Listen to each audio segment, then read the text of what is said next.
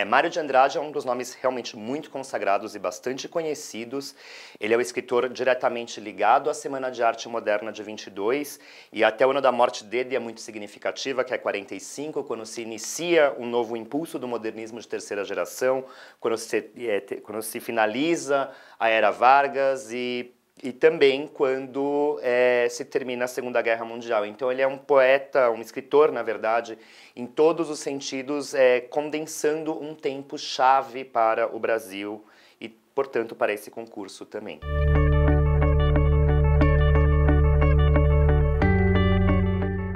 A importância dele para a literatura é inegável, porque ele, ele tratou de um tema muito uh, candente para esse concurso, que é justamente a formação da identidade nacional.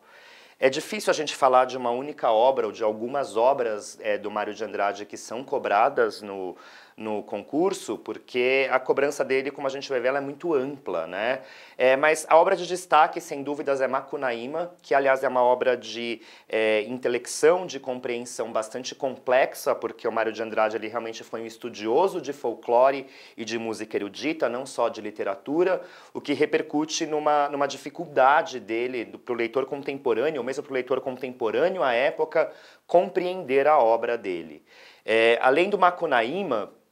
existe toda uma produção grande dele é, é, falando sobre São Paulo, sobre, sobre, é, sobretudo sobre essa nova, essa nova sociedade que se configura no Brasil, e isso está bem presente no, na, na prova do, do, do Instituto Rio Branco.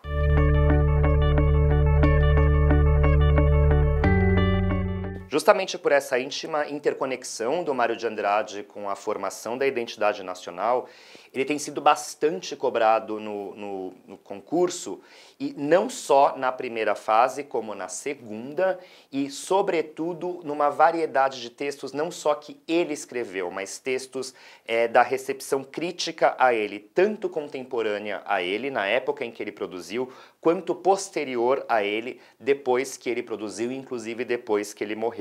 É um escritor que merece bastante atenção e é o que a gente tenta fazer trabalhando com várias frentes relacionadas a ele.